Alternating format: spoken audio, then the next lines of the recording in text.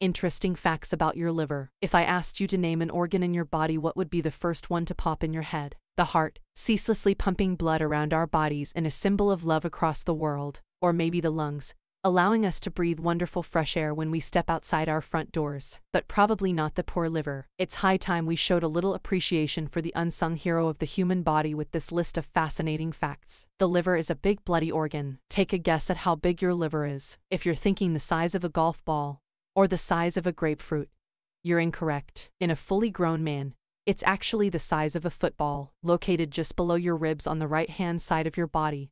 The liver weighs 3 pounds on average, making it the second biggest organ next to the skin. It's wedge-shaped, formed of four lobes, red-brown in color and would be rubbery to the touch. At any given point, the liver contains 10% of all the blood in your body and filters it at a rate of around 1.4 liters per minute.